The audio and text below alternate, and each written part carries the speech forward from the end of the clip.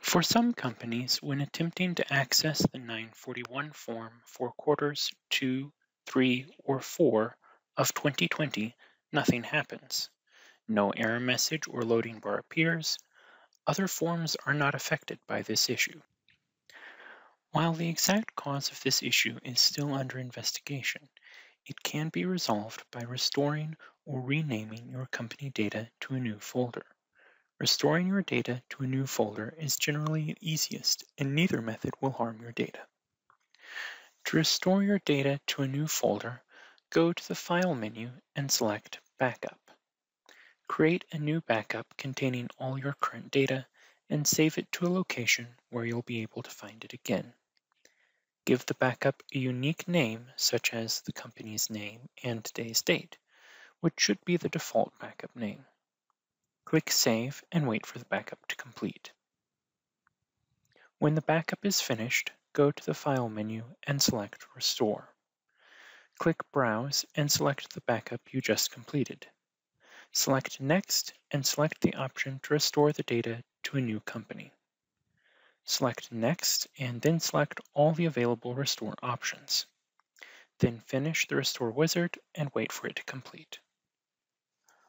Open the newly restored company and attempt to access the 941 form for the desired quarter, which should now load after the COVID-19 payroll wizard.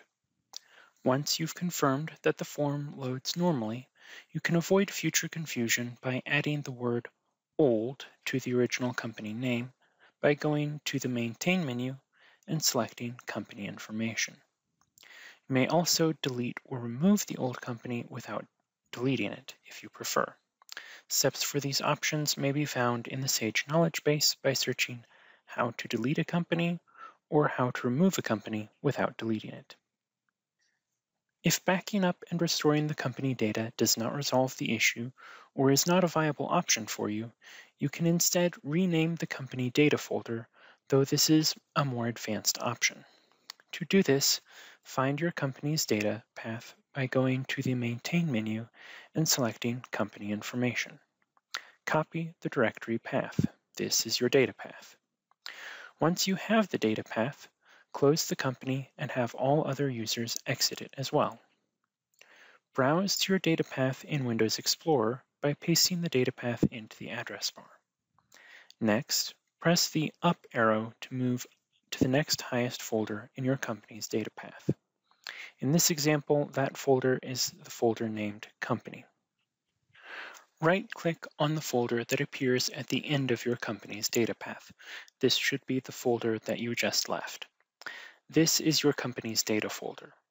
Select Rename. Make a slight change to the name of this folder, such as adding a letter or a number to the end.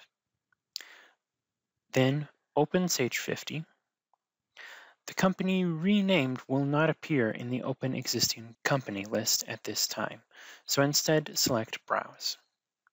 Find the folder you renamed and open it. Any other users will need to complete this step as well before the company will show on their own Open Existing Company list. Once the company is open, access the 941 form for the desired quarter, which should now load after the COVID-19 payroll wizard. Thank you for watching this demonstration.